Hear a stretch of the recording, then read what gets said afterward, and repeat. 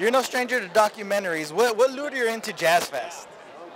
Uh, I, I love documentaries. They, uh, you know, and I, being able to combine music and film for me, I love music and I love film, and I, it just seemed like the right thing to do. You know, it's kind of a dream come true. The perfect combo. Yeah, yeah, and uh, and Jazz Fest is not just about jazz, which was the other good thing. It's about all kinds of music, and to be able to showcase what happens at the festival with these incredible musicians and the culture of New Orleans and the food of New Orleans, to bring that all together and make it feel like you're there, that was our goal.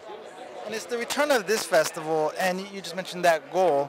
But what, what do you want people to like really learn too and take away from this? Because that was that's a different festival beast in its own. This fest. No, no, that. Jazz Oh, Jazz Fest. Well, I think that you know everybody can live together. It's a you know it's a melting pot there. It's a gumbo, if some people call it. But uh, you see how different cultures can live together, and I think that's what we got to try and figure out here. It's uh, the, music is the glue, and all the different kinds of musics that are bought, brought by the different cultures. You go, oh wow, you know, you go in the gospel tent, that's magic.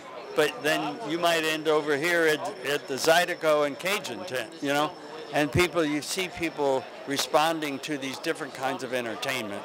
And I think they'll, a jazz funeral, they have a jazz funeral that we cover. You know, I'd want one of those. Who wouldn't want one of those, you know? So it's, uh, it's really the spirit of the festival that I think is, I want to come out and the hope. Everybody has hope. They, they rolled with the punches. Had a lot of hurricanes, one really bad one, and they kept coming back. And not until we got to COVID did they get shut down. But for two years, and now we're back. And, and music is so universal. M- music, food. Uh, Why, do you think that is for some people? It's soulful.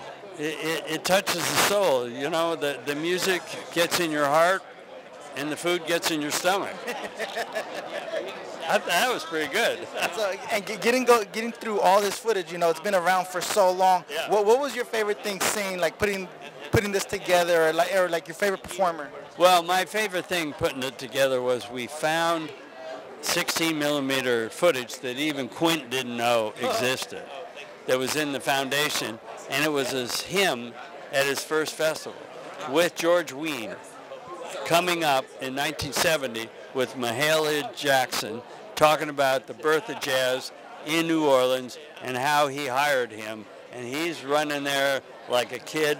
You'll see him. He's dan- I don't know how he learned to dance. He's doing it. Wait till you see him. It's hilarious. And he didn't know he saw it.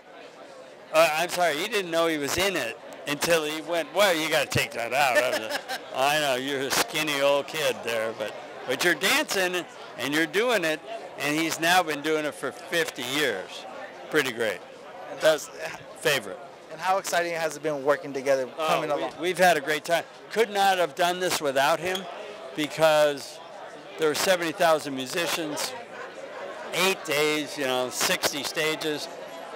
I didn't have enough people to cover it, so we had three camera crews, and I had a co-director, Ryan Suffern, and he and I would piggyback on different, we were never together. He would do one thing, I would do an interview, he'd do a band, and sometimes on the big ones like Pitbull or Jimmy Buffett or Katy Perry or Earth, Wind and Fire, we would have all the cameras and we would have all of us covering it because it's such a wide expanse of uh, area that they're playing to. Um, but without him, we would not have got Samantha Fish. We would not have found Boyfriend, um, Tank and the Bangas. We would not have found them, and they're wonderful, wonderful parts in the movie.